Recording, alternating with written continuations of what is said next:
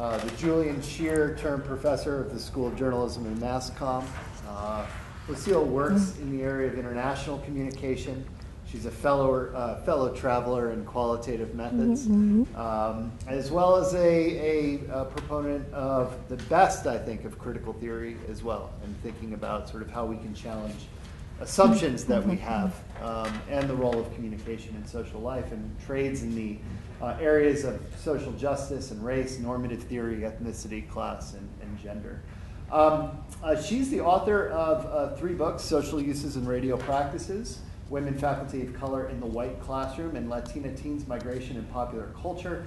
Um, she also directs the Latino Journalism and Media uh, project, uh, LatiJam, uh, which I do have to say I have the honor to have been able to go see the newsroom. Uh, my wife Oh, was a guest radio. on the show, and it is awesome. There's all these high school kids uh, who, I mean, it's just this bubbling, vibrant, lively place uh, where the kids literally are having amazing fun. And my wife had an amazing time being on it uh, and uh, just really had a great time. Uh, and couldn't say enough about the wonderful work that you're doing in the community uh, here, in addition to your scholarship. So, with that, I will turn Thank it over you. to you. Well, thank you. I'm not sure that's really me, but anyway, it sounds so good, Daniel. Okay, um, this is some research that um, I have been doing for a number of years. So several students have participated on this. Uh, one of them is uh, Joseph Erba, who was my PhD student here before.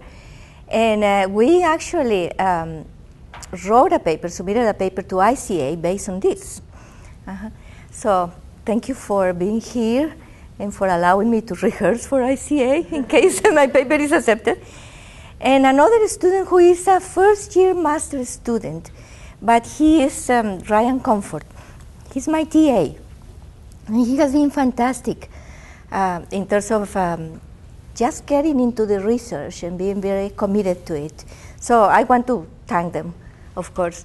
Uh, two other students that I don't have the names here who also helped me to do some of the data collection were Anasa Senegal and also, also Ma- Michael Fuhlhage. Michael finished a few years ago. Okay, and so the first claim, the first claim that um, I'm making here is uh, the importance of studying the region when we study Latino media, because previous research, in previous research, to begin with, there is not a lot of research on Latino media. Uh, and by Latino media, I mean Spanish language media, bilingual media, and English language media, the three of them. Um, but it's, um, the definition is uh, media that is catering to Latinos. So it doesn't have to do with uh, Latino ownership, but just catering to Latinos. So in the small body of research that we have, we have studies, for example, of Univision, big studies, national, so the national media, or the transnational connections of Univision with Televisa. Or we have case studies, studies of newspapers or studies of, of Univision. Uh-huh. Um, or more Texas media, maybe. But we haven't paid enough attention to the, to the regional. And if we consider that, yes, in terms of the Spanish language media catering to Latinos, um, it is the second largest market in the world. So only after Mexico. So it's a huge thing, and there are huge differences among Latinos and among these regions. Another thing is that this media has been previously examined as ethnic media or minority media. So very often it's uh, uh, grouped together, for example, with um, African American media or Native American media. And it's very different. The experience is very, very different. So I'm criticizing this paradigm or using this paradigm of the, of the um, ethnic media. And I will tell you why in a minute. Um, this is this was the population of the United States in 1980 in terms of the Latino population. Uh, and I'm going to talk about the regional media, of course, in the, in the southeast, our region. And, and you can see that they were practically very, very, very few spots there, blue spots. And then if you go to the 1990, you start to see a little bit more, but to the 2000 and then very dramatic in 2006. So uh, if you do it, uh, if we do it again, you can see how how dramatic the the uh, the change was. Uh-huh. So what I'm what my argument is that this the media in this region are really really different from the media in other regions. Um, so we started this research for two for two reasons. One is uh, media media catering to Latinos starting to come about. Mm-hmm. And there is a need to document, just to document the history of it and just to map it. And also, there was another need um, that it has to do more with uh, engagement, and it's uh, creating a, a, directory, a directory of this media, especially for non-profit organizations and even for government, uh, government agencies, for uh, uh, service providers to this community, because there are many, many directories, of course, but you have to pay for it. Yeah. So we created uh, we created a, a, directory. I will show you a little bit about the directory, and maybe I do it now.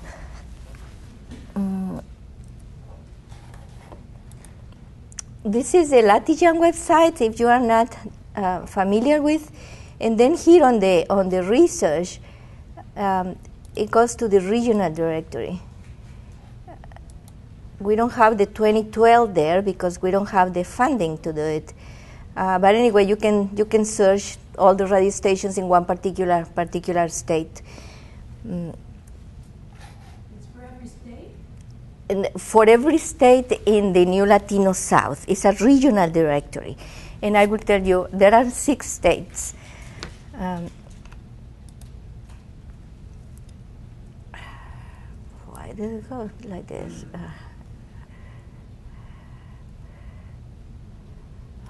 So here are the here are the here are the states.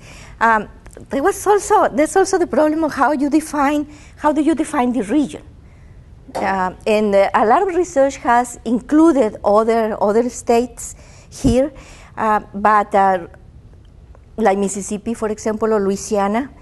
Um, but the change in these states was not as dramatic. And there were two kinds of changes. So, one is the Latino settlement, and also, the other is um, a restructuring, an economic and political restructuring of the, of the South. So the Latino settlement was just part of it. Mm-hmm. And these six states, according to study of the Pew Hispanic Center, and I'm taking their lead there, um, share similar characteristics. Mm, so one, one way to look at it is by, by looking at the, the political divisions Mm-hmm. But another way is by looking at the, at the markets, because this is an industry, right? Uh, by looking at the markets, and the, the, best, the best data is based on radio. Mm-hmm. By the way, Latino, Latino radio, uh, radio is the most important medium for Latinos. So it's probably, Arbitron is the one that captures better this population, mm-hmm, this market. It's almost, it's like a, a million less if you see, is the metro um, 12 plus population. Uh, and um, so with the, with the media directory, we did four years from 2009 to 2012, and it's the data that we have. Uh, we look at newspapers, radio, and TV stations, and then uh, with the um, data material that we collected, so we collected data from uh, specialized uh, uh, directories, all kinds of directories. Um, then we um, contacted the, the media companies, especially the newspapers. This is what I'm going to focus on the newspapers. We contacted them by, by email or by, by phone. Then we also did for more of the history, um, searching uh, the newspapers, uh, newspaper database, database, NewsBank, searching for all the mentions of the mainstream media, of the Latino media, which we didn't find that many, but we found a few. Mm-hmm. Um, then why newspapers if radio is the most important medium for Latinos? Well, newspapers because it is a doable project. in a short period of time, I can actually do it, right? Rather than the radio, in which there are over a hundred radio stations. It's very, very difficult to find information about about uh, um, this media. It's not very easy. So I didn't, I didn't know, of course, what I was getting into it. Um, the second reason is that the newspapers, of course, are crucial for uh, the political and, and civic life for communities. Uh, and there is research showing that um, the readers of Spanish language newspapers tend to, of course, um, participate more in political life and civic life. Mm-hmm. Uh, not surprising, right? It's just the research on newspapers has shown that.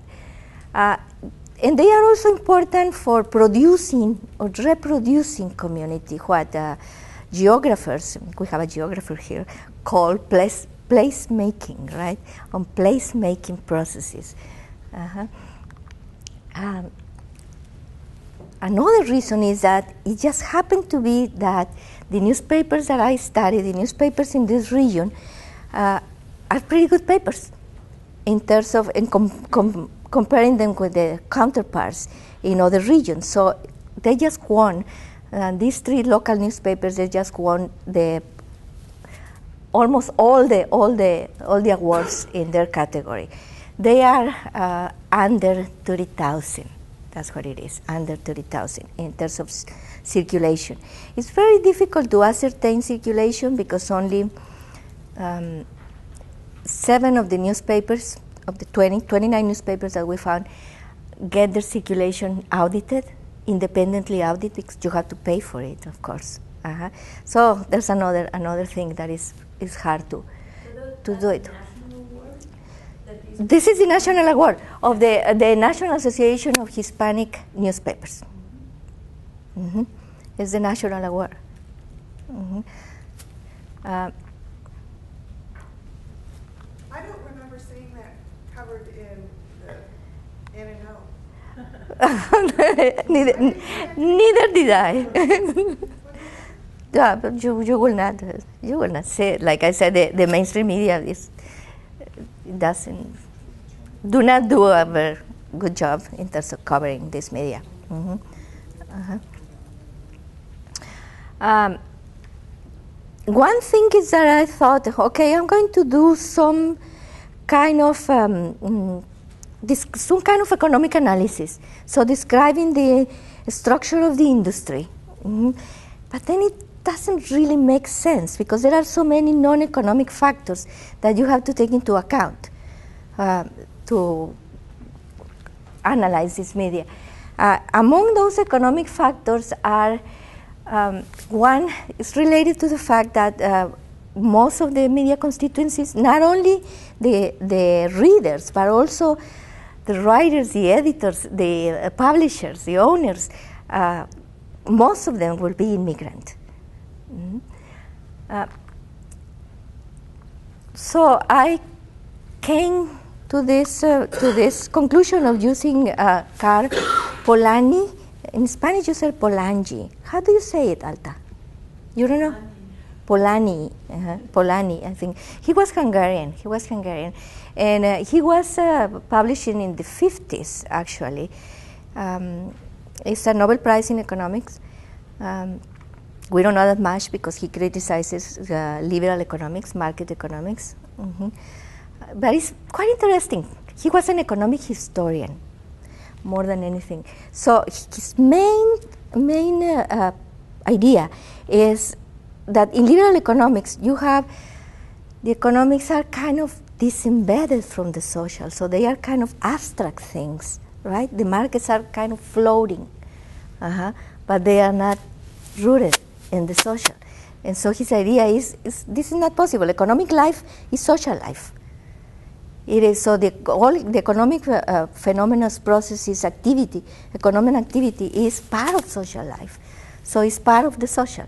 That's the, the main thing. So it is embedded. So economic activity is embedded and embed mm, and mesh in the social. Uh, the other is um, uh, what are the non-economic factors? When I when I think on on this um, Polanyi's theory, I can think on the non-economic factors, right? I can include the non-economic factors. So one is obviously the restructuring of the new Latino South of these six states. It, it, didn't happen just because it happened, right? It was part of a, of a global project. It was part of, of the neoliberal project. And uh, of course, the, the neoliberal ideas uh, play very well in the South. And part of that project, one of the effects of that project, NAFTA, for example, is part of that project. That's the most important thing. Uh, yeah, the opening of borders, pretty much globalization, economic globalization and political globalization. Um, but part of, the, of those processes uh, was the linking of the labor market of this region with the labor market of Mexico.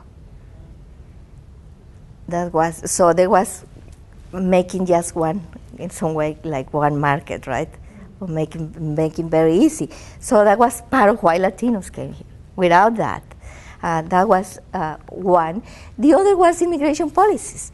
The immigration policies that had been and the enforcement of the immigration policies that have been very flexible.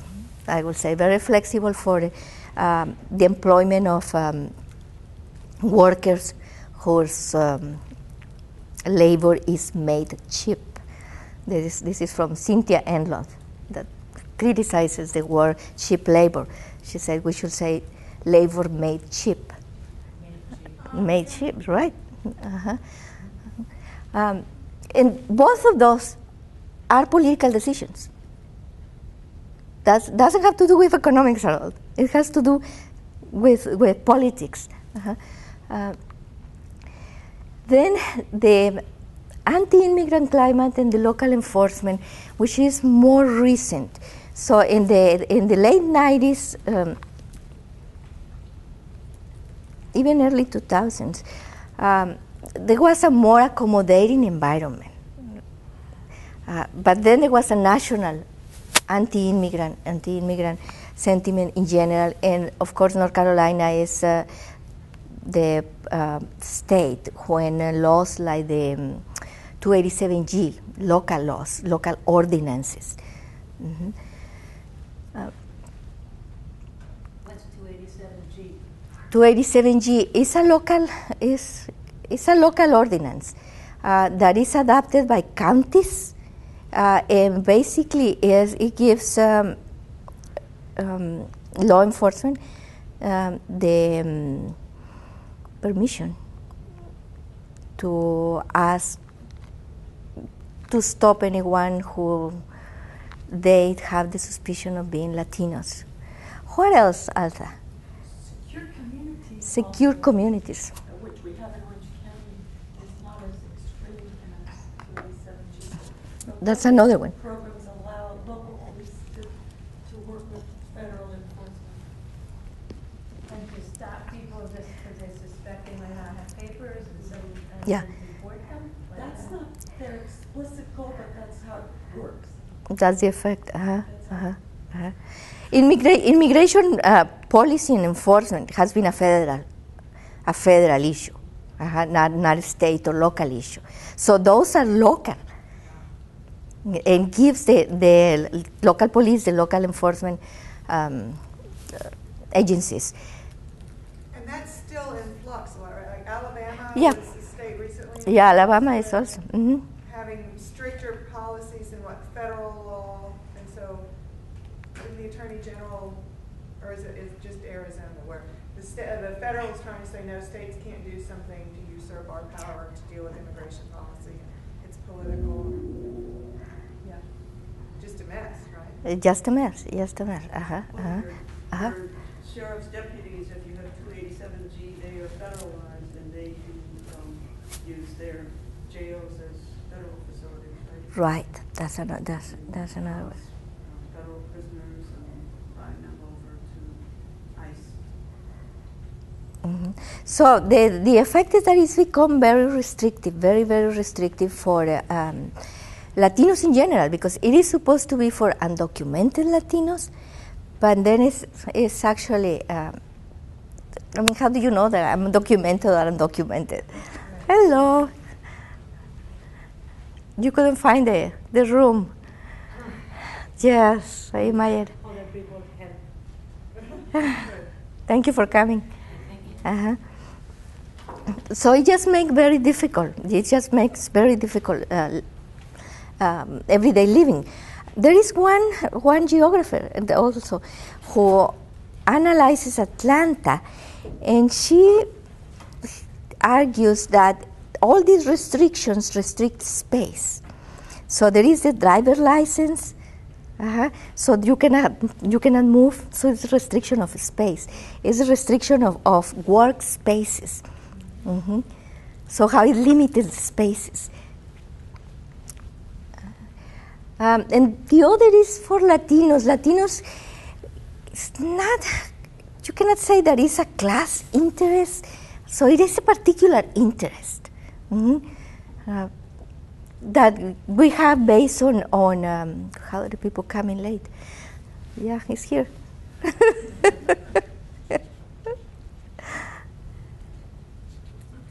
Mm, so difficult to find this place. Yeah. Hello.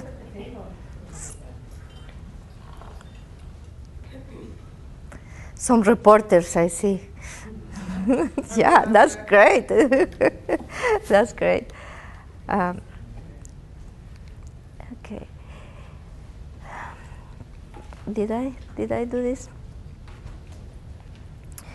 In terms of Latinos, Latinos' particular interest, um, the me, the ethnic media, like I said before, Latino media has been studied as ethnic media, and there are some functions of um, of the ethnic media. Among those functions are um, the creation of safe spaces. Uh, for example, the um, reproducing of cultural traditions, for example. So there are some specific functions to the ethnic media that are different from the general market media.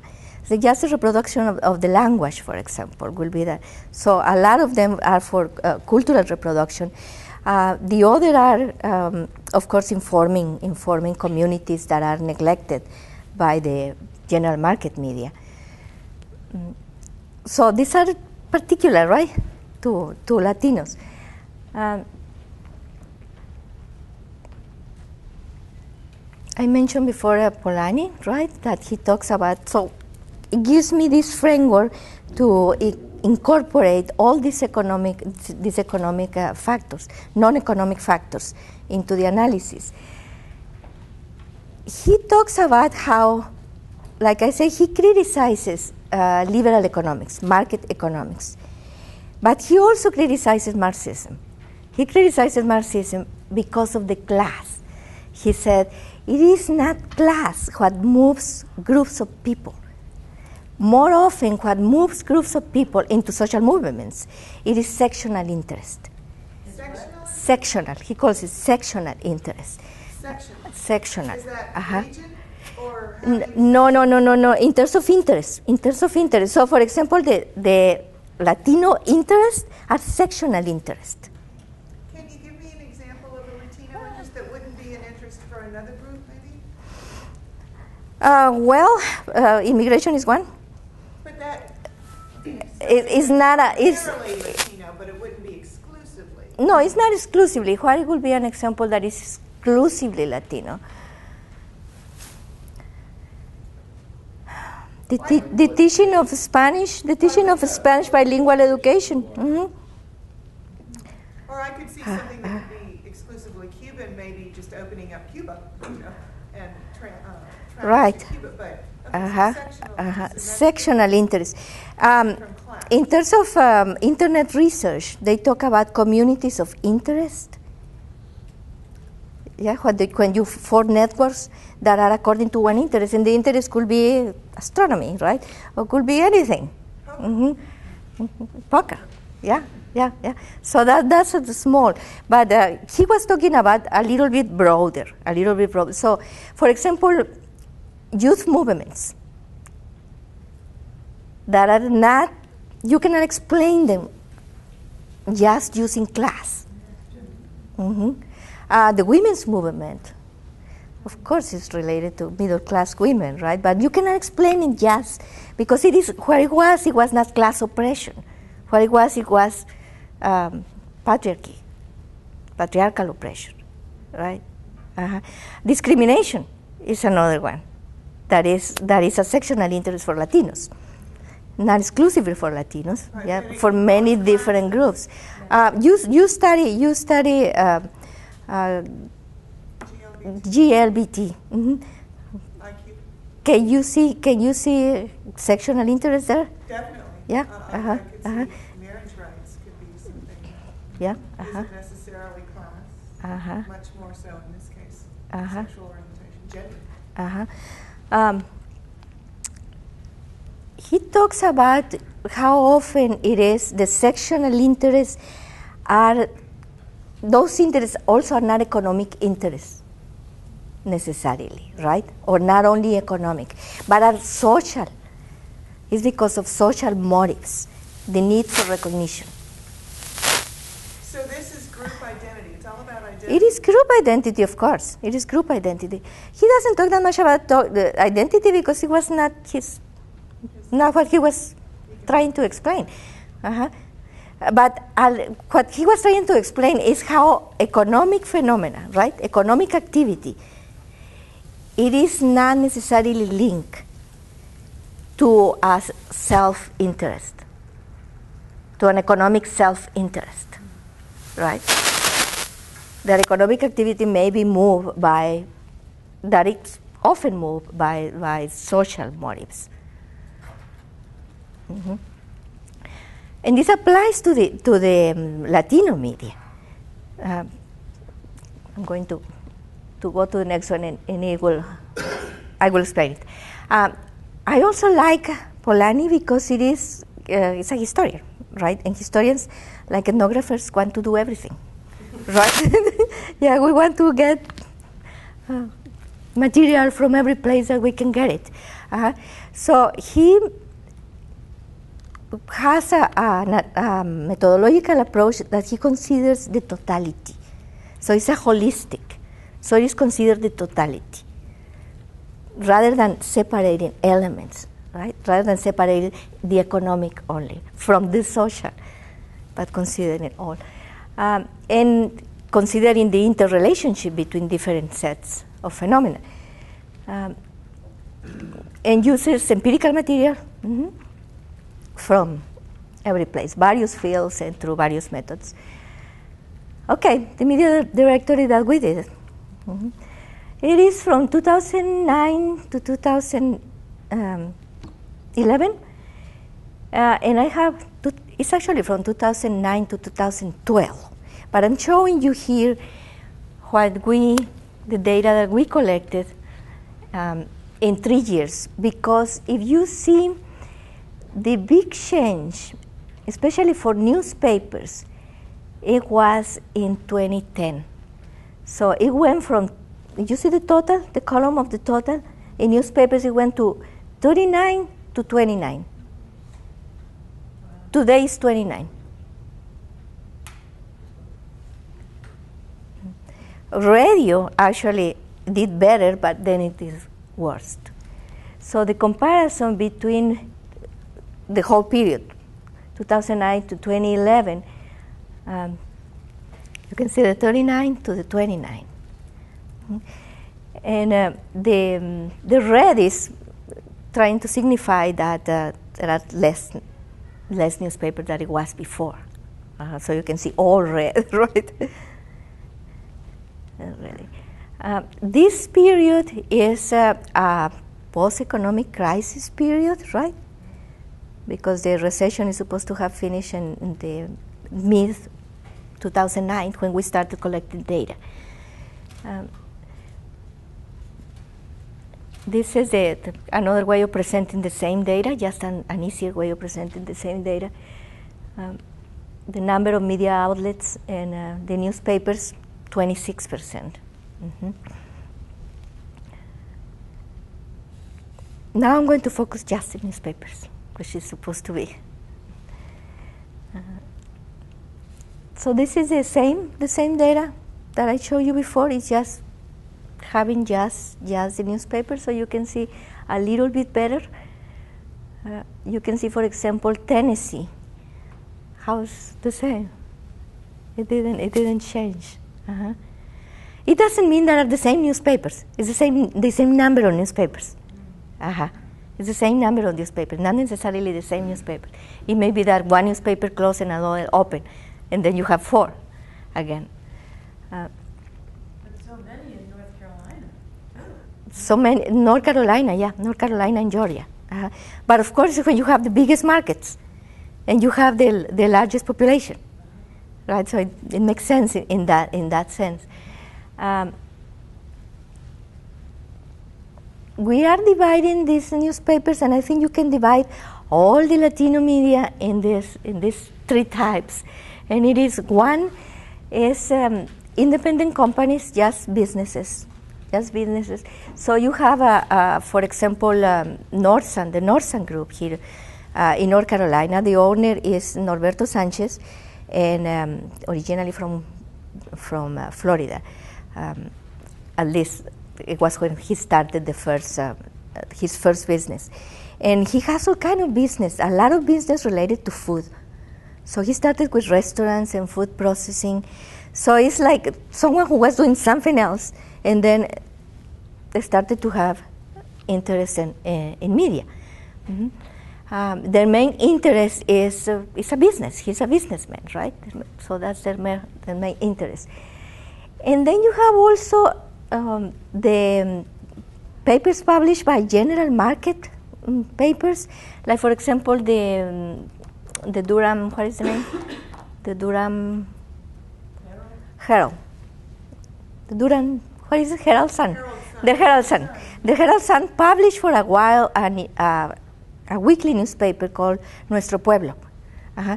Most of this, most of this, uh, um, sometimes there were inserts or were columns in Spanish. Most of them didn't survive. Mm. As far as I know, there is there are only two um, in the in the region that have survived. So initially they saw an economic opportunity, but it didn't really pan out for them. Then you have another very different, the other extreme, the other extreme, which are newspapers started for uh, not for because you are a, a business person and you are looking to have a um, a good enterprise, but because you are motivated by social justice. You are motivated by social justice, so it has to do. This is a totally alternative media, in that sense. Um, you tend to be small newspapers, smaller newspapers, Mhm. and uh, I would say that most of the newspapers and most of the most of the media in the United States, except for the big media uh, like Univision, um, are in the middle. So they are for profit, advertising based, but they are very strongly advocacy media. Mhm. Uh, I would venture to say that all Latino media are advocacy media in some way. Uh-huh. Some more than others, right? Um,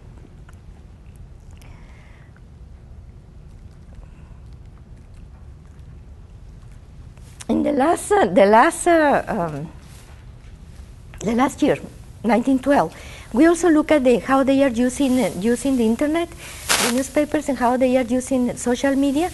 And uh, out of the 29, only one newspaper doesn't doesn't have a website at all. It's a very small newspaper. Uh, and then another one has a newspaper, but it's a very uh, basic news, a website, but it's a very basic website. And the rest of them, uh, or the ones that we found, uh-huh, have um, online, have, a, have an online presence, have an online newspaper of some kind. Some of them are excellent. Mm. So the major trends, and I'm going to finish pretty soon. The major trends are the newspaper industry in the region uh, has consolidated, and you can see very clearly two groups the Que Pasa group and the Norsan group. Uh, and both of them are based in North Carolina. Mhm. Uh, Charlotte is, a, is like the hub. Uh, Raleigh is very important, but Charlotte is like pretty much the, the hub. Not Atlanta, that you will say, why is not Atlanta? Uh-huh.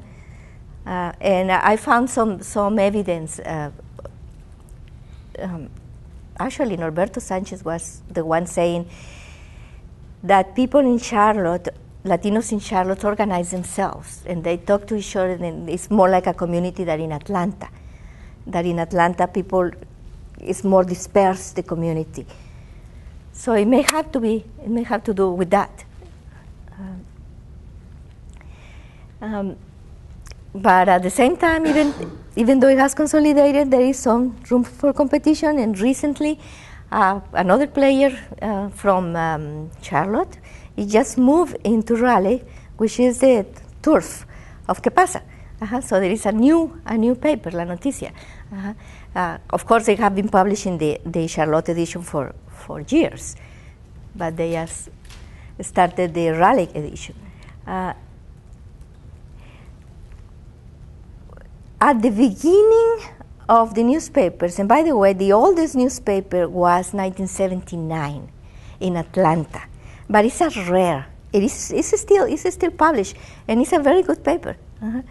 Uh, the online the online uh, edition is very sleek and it has a lot of local information. Mm. But most of these papers appear in the early 90s, I will say, started to appear in the, in the early 90s. Mm. And most of the social justice papers ap- appear at that time, but there are still, there are still many of them. They are still surviving. Um, nearly all of the newspapers that we study are owned and operated by Latinos, which is a very interesting and very different from the national scene. Uh, even, for example, uh, La Opinión, which is uh, Los Angeles, uh, is uh, the most important, probably, the, I, I would say the most important Latino newspaper. Other people would say it's the Miami Herald, but for me it's La Opinión. Um, it's more advocacy, uh, La Opinión.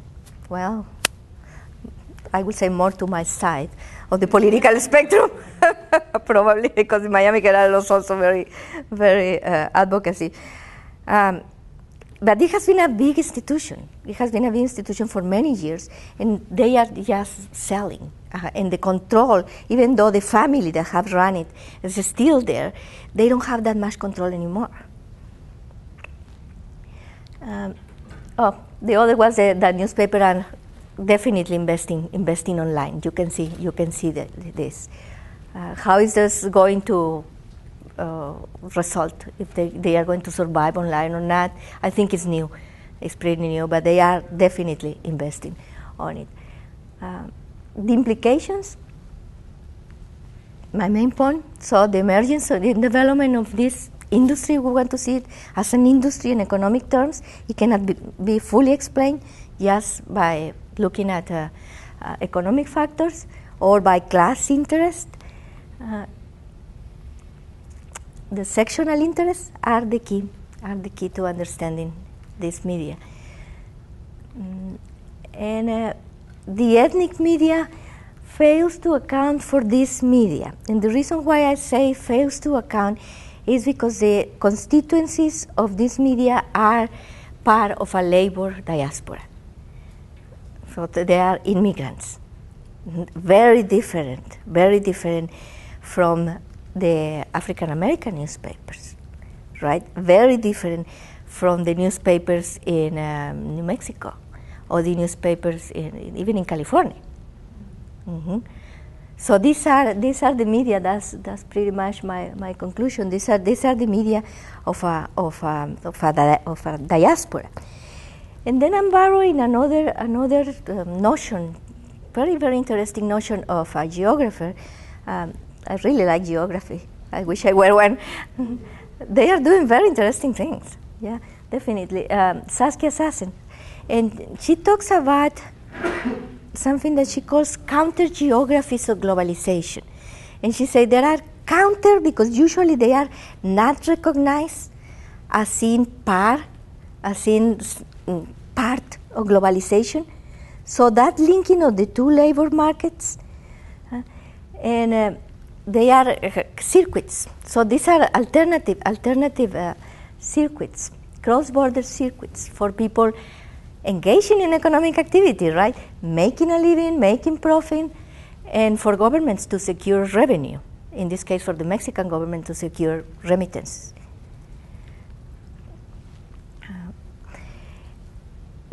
Also these counter geographies has like one leg in the formal economy so they utilize some some of the um, institutions of the formal economy the resources but another one in the shadow economy there was one uh, publisher of um, a newspaper in wilmington el mundo who was outed as undocumented actually was outed in the mainstream media uh-huh. Well, there's some coverage. There is some coverage, yeah, you get some coverage. Uh-huh, uh-huh. Uh, but it was actually very interesting how the mayor of Wilmington and one of the city council, um, whatever, persons uh, wrote letters on his behalf because he was serving the community so, so well, right? Uh, he was deported, as far as I know. I don't know if he came back. He overstayed his visa. Mhm. What happened to the newspaper? Um, See question. no. Yeah, you see questions. you can see that. What happened to the newspaper? in Wilmington? As far as I know, it doesn't publish anymore, if I remember correctly. Mhm. Yes. So I'm wondering if you could go back to your, the early typology where you had um, uh, the three types of Mhm, newspapers mhm. that. So there we Mm. go. Is that it? Yeah. So um, given that this is a, a conference paper, I'm wondering if you could say a little bit more about this typology more generally, because I'm not quite sure I understand the distinctions that you're looking to draw here. So it seems to me that for-profit advocacy papers uh, might share a lot in common economically and otherwise with something like an independent company or a business. I'm wondering if you could just clarify. It's the motives. It is the, the motivation, the motivation the for, motivation for yeah, the So- motivation before creating creating this enterprise. Right. Uh, the motivation not only for, for creating the enterprise, but for sustaining it. Okay. The um, Latino media advertising rate is much lower than the general market advertising rate. Okay. So it's not like it's a huge profitable media. And then you only have not only the publishers or the owners of the newspaper, but more than anything, the reporters. The reporters, the editors, the photographers, the people that work in the newspaper, uh, what they are doing it. Of course, they are making a living, right? But it's a calling. So it's their orientations in some way towards these sectional interests that are. To these sectional interests. to this sectional interest, yeah, yeah, So yeah. Let me To- ask, I guess, a follow-up question with that too. So one of the, I'm trying to think of other work in this area, and I'm, I'm sort of struck by a, a study that I had read a couple years back, which was a study of uh, Spanish language newspapers in the Bay Area. And one of Mhm. the findings, this is John Kim, Isabel Awad, and, and Ted Glasser.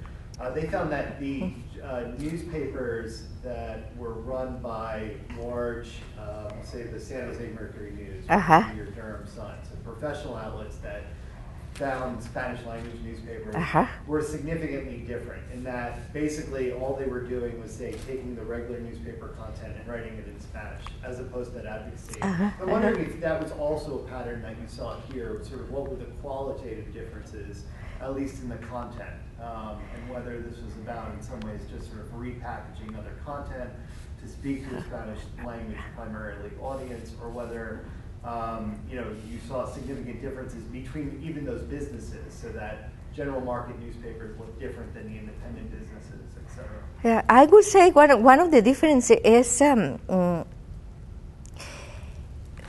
if we go to the to the newspapers that are more businesses, they tend to use more news from agencies, news that they don't produce. So it has to do with localism. So it's less local local investment, local reporting. Uh-huh. Uh, there is one, at least one newspaper here that I don't count, I don't consider a newspaper, and it's basically a conveyor of advertising. and it, a chopper. well, it's not on. It's, a, it's not a chopper. It really looks like a newspaper. And it has it has some news, but the news are it. The local coverage is minimum. It's minimum. Some some police notes. hmm hmm Which is the easy to uh, to cover. Uh-huh. Um, are you satisfied with my answer, or you still? I guess I'm struggling because so I'm, I'm trying to think of like so a for-profit advocacy paper. You know that that to me might be a media outlet like Fox News. So Fox News is an advocacy organization for the conservative movement, yet it's highly profitable at the same time. I guess what I'm trying to sort of think about is sort of what's the distinction. You can have advocacy, but sometimes advocacy can dovetail with market interests. So how should we think about that? And So sometimes advocacy is a good, like, marketing plan? Right, well, I- yeah, at least, at least sort of if we look at the cable industry, like MSNBC and Fox News, as advocacy journalism organizations, we could debate about that, are very economically profitable if we think about sort of where audiences are flowing to. And CNN loses out Yeah. in that instance. So what I'm saying is that sometimes it will dovetail, that economics will sort of, of, you know, dovetail onto sort of the more partisan or political. Right, right, and, and and that's the key. That's the key. With these newspapers, it doesn't. It doesn't. It doesn't. It's- it's- Right. I mean, they they reporters uh, have a salary or whatever, but it's not like they are becoming rich at all or having a, a great a great job. You know. Uh-huh. Uh, so they, in many ways, like I say, is not is against the economic interest. That's what it is. Uh, I'm not sure, although I'm not sure MSNBC will do it against its economic interest. I think Murdoch will do it, but I don't. I don't think MSNBC. Lucila, what Uh, about the argument that these types of, especially ethnic or minority media, whether, and that's at odds with the idea of sectional interest, but they're transitional. They're for groups that are attempting to assimilate, and that one reason that there's a need for these um, minority media outlets is that they're not receiving coverage in mainstream media. So maybe the goal is to increase coverage in mainstream media, so this is no longer needed. This actually comes out of a panel I heard in Chicago, AEJMC, from, um, that included a woman from, the- is it Windy City Times in Chicago? Anybody? I think it is. A Uh-huh. GLBT Uh-huh. newspaper, very Uh-huh. long-standing, has been Uh-huh. profitable. And so some folks were arguing, well, if there's so much more coverage of the LGBT community, almost where you don't need these, these- but that's sad. Uh-huh. Well, uh, historic. Finish, I'm sorry. And it's Mhm. not as though mainstream media is giving any minority Mhm, community full mhm, coverage, mhm. but do you see these as Yeah, and there is there is some overlap. There is some overlap with with this media, especially with with not the business, the ones that are just for the business, but the ones that are more advocacy or social justice. Some overlap with um, social movements media. What you are saying is a social movement media. So in social movement media fulfill a function, and it's not necessary anymore, like the movement, right? So it is. Um, so are you saying will will this ever uh, disappear? It would be transitionally. Well, I hope it will be transitionally. You know, I hope that we will not need our own, own media, right? That we will be so part of the mainstream society. hmm Is that what you hope? Sure, of course. Yeah, yeah, that, that's what I hope. But but it's uh, within what is called cultural citizenship. Uh-huh. So we are Americans as anybody else, but we do speak Spanish, right? And we eat whatever we want, and we have this music, and yeah, we, yeah, yeah, we can be both things, right? But we are part of the mainstream. We are not others, right? And not subject to discrimination and all. Um, Can you speak a bit about language then? If you were Mm-hmm. moving into mainstream, Uh-huh. would we need a Spanish language press? Well, as far as we have these circuits, How, you have this as far as we we have we have uh, labor, right? How, as have, as far as we have immigrants from Latin America coming, the Spanish language media will be necessary in that in that sense. Mhm. And um, New, new, new generations, as new generations. But the second, third generation, and by the way, how we say second and third generation immigrant, right? Fourth generation immigrant. You keep being an immigrant no matter how long you're here, right? Uh-huh. Um, no, there are there are now many many options in in English. Uh, there are three channels, Mundos, three um, cable channels, Mundo, CT, CTV, and which, what is the other one? Uh, well, there is another one that is for youth, that are catering to Latino youth, and, and it's in English or with some Spanglish, you know, with some Spanglish. Uh-huh. So that's interesting, Uh-huh. it's catering to Latino youth, not through Spanish language, how do you, I mean, what does the- that catering to Latino youth mean? That would be, I'd love to see what, how they um, identify these groups, if it's not by language. If it's not by language. Or so uh-huh. Is it? Type of music? Well, but it's yeah, yeah. I mean, there is there is still this, this has to do a lot with identity, right? It has to do, um, and the best example of of a, of a group uh, that has a very strong identity and it's not linked to language is the Irish. Yeah. So it can become that way. Hopefully not. right? Hopefully we'll be bilingual. Yes. uh-huh. Going back to the mainstream media part, can't you argue that there is Spanish person mainstream media considering the Univision wins many nights? Yeah. So, Yeah. Really? Really? yeah. It wins against Yeah. the network. Beat NBC for a lot of And Right. wins. So I'd argue that when you're talking about mainstream broadcast networks, if you don't include Univision, you don't include, it's like not including NBC. You are absolutely right, and I shouldn't use that term um, uh, because the term is general market media, Mm-hmm. Right? It's general market media as opposed to Univision is mainstream media, but it's gen- is is um, um, mainstream. You are right. The term mainstream media is just doesn't is not helpful. hmm I totally agree with you.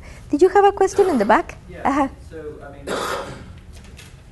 kind of back to some of Daniel's points, but like in LA, I remember, I mean, La Opinión was read by everybody I knew, Yeah. whether they were Guatemalan, whether they were young or old, or Yeah, Mexican or uh-huh, Salvadorian, it uh-huh. very assimilated to a very large purpose.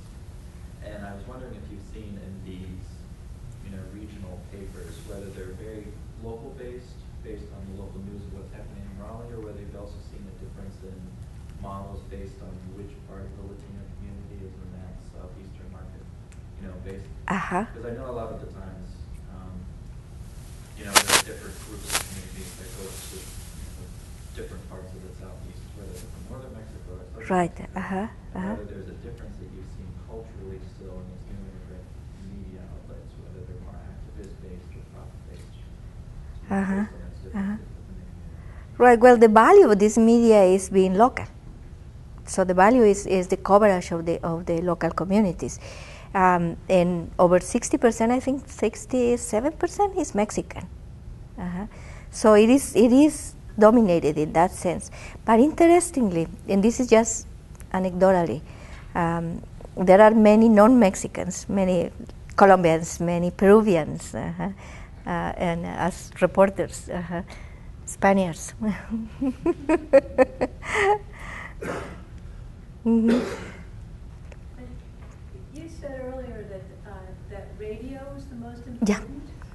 I mean, why is that? And I, because I have two One is that, so how, why is radio so important? I know you did some of your early work in radio. Is, is it the same kinds of uses here in the United Uh-huh. States?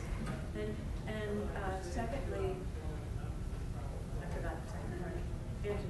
Angela. No, no, the, other, the second part was about newspapers and how interesting it is that I, I would have expected an even, even more significant decline in newspapers in this period when all the English language newspapers are in such decline. And thank you for bringing that up. Thank you for bringing that up because I didn't give you the national context. The national context is, uh, according to the Association of National Association of um, Hispanic Newspapers, 800 and I think 34 newspapers, weeklies. Uh-huh. There are only 29 dailies nationally, and then over 800 weeklies. Uh-huh. So the fact that this local newspaper got those awards is remarkable, Yeah? right? Um, but the 800 weeklies. people, Our locals got the awards, yeah. Yeah, the weeklies actually did very, I mean, relatively well during the depression and have been doing very well as compared as compared to the dailies. The dailies are, are, are not doing as well, and as compared to the English language media, it's a success story. The, the Spanish language weeklies. Uh, You tell our students that. I do tell them that. Just to get Yeah, I do tell them that. Yeah, yeah. And it- I mean, the reason is obviously that they are fulfilling a very important function. I mean, people buy them, don't buy them, but read them, right? And radio? And radio, uh, I think nobody knows. I think no, I think nobody knows. I haven't seen any research that definitely says this is the reason. Um, some people argue that because we are more of an uh, an oral culture, uh-huh. uh, but it, it has to do has to do also with uh, the type of work that um, especially working class, class, uh, working class Latinos do, that you can actually have the radio when you are working. That's, that's another reason. Uh, our attachment to the music. Uh, I don't know. What do you Latinos think? Why is the most important? Uh-huh. Um, in 2006, there were some national uh, demonstrations, right, of immigrant for immigrant rights, and uh, the uh, radio personalities were at the forefront of, of the movement because they are really political figures. Mhm. Did you want to ask? I would follow up just a simple question about the, the newspapers in the region. I, I noticed when you had the numbers up there, Uh-huh. a lot of the loss in 2010 was in Atlanta. It seemed like seven Yeah. newspapers. There were Right, seven left. right, right. Uh-huh, uh-huh. Do you think that Uh. was because of anti-immigrant uh, sentiment or in Georgia? I don't know why, Alza. I don't know why, Alza, because this is, I mean, this is the first research that we have been doing and nobody else has been doing it. Like I say, it seems that uh, North Carolina, Charlotte, and Raleigh have been more, more, um, um, Latinos have been more organized, so there has been more of a community. And that is in other research also, not related to media or to anything, uh, but related to mm, Latinos in, in Atlanta, how there were conflicts with the groups. Uh, uh, mhm, Yeah. Yes. Sometimes, uh, in my research, when I want to get a big effect, I, I say that the media are not really about information at all, forget it. And I say the media is about community. Right. Especially Mhm. that's true of, horizontal media, Mhm. which is what you're defining. I wonder if your data don't fit my model. They're really about community, aren't they? Yeah. I mean, the people who produce them are creating or finding or trying to identify community. Yeah, definitely, definitely. It's, it's, it's, it's, key, for- it's key for the community. It's key for creating a community. Um, you are probably familiar with, with the Anderson research, Imagined Communities, right? That actually was the newspapers in Europe that uh, uh, created a sense of, of being, being a, like a state, like a nation, right? That connected people that were separated, separated uh, spatially. Mhm. So in the newspapers that you're looking at, is there much reaching out beyond the borders of the Hispanic community to other topics? Do they make much of a connection with, say, general political, economic topics in the United States, or do they primarily make it those topics as related to the Hispanic community? It is as related to the Hispanic community. It's- those news that will not be in the mainstream media. Uh-huh. And at the local level, so those small events that will not make it in, into the big news. Is there very much in those newspapers about the Catholic Church? Yes, yes, uh-huh. uh And there are in the social justice justice papers. Thank you for bringing that up. There are a lot of religious. So the, the motivation is religious. It's a religious motivation for social justice, in the Catholic way, right? hmm Okay, thank you very much. Thank you. To all of you.